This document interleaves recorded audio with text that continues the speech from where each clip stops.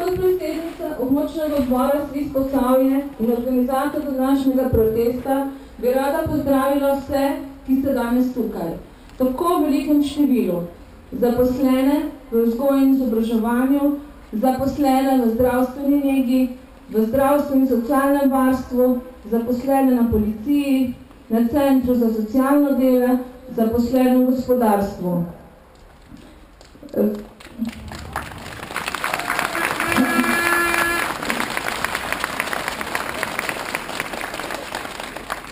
Danes smo dobili tudi podporo ECUCEA, mednarodno pismo, ki ste najbrž prebrali v šoli, in tudi pismo uh, svobodnih sindikatov, ki nas tudi podpirajo v današnji stavki.